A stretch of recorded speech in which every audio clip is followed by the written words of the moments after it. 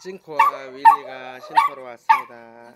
우리 아이들 광주 보호소에 있다가 여러 가지 이유로 인해서 입양을 못 가고 있었는데 아, 이번에 또 어, 사랑만 진아님 후원으로 아이가 둘 다 해외로 입양을 가게 되었어요. 그래서 어, 이 아이들은 이제 대전 쉼터를 통해서 해외로 입양을 갈 예정이고요.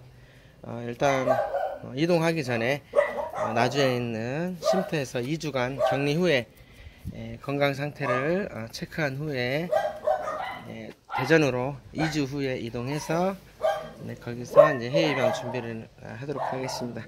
우리 윌리, 네, 우리 윌리 예, 말티푸고요. 남자, 예, 굉장히 밝고 에너지가 넘칩니다. 좀 지점이 좀 있어요. 우리 찐코, 찐코야. 네. 우리 찐코, 우리 찐코는 착하고 순하고, 네. 애교가 많고, 그렇습니다. 믹스견이라서 너무나 작고 예쁜데 입양도 못 갔어요. 우리 찐코도 입양 못 가.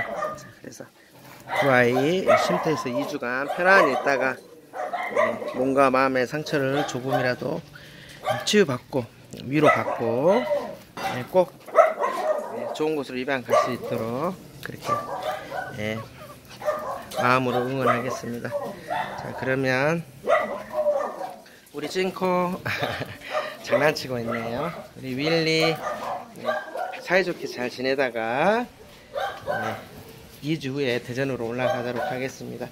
이 아이들은 일단 저희가 어, 공간이 없어서 일단 아이들 공간을 절반으로 나눠서 임시 공간을 만들었습니다. 그래서 아이들 예, 맛있는 거 주고 운- 맛있는 거 주고 또 운동도 또 스트레스 받지 않도록 충분히 하도록 그렇게 하도록 하겠습니다. 자 우리 쉼터로 온 찐코 율리 잘 적응해서 꼭 좋은, 좋은 곳으로 입양 갈 수 있도록 여러분들 많은 응원 부탁드립니다. 율리 우리 율리는 이제 대전으로 가서 미용해야 되겠네요. 우리 찐코는 이불에 관심이 많네요. 윌리 아이고 푸들 특유의 발랄함이 있어요. 아이고 예뻐라. 네 감사합니다. 우리 윌리 아이고 윌리 찐코 네, 많은 관심 부탁드립니다. 감사합니다. 고맙습니다.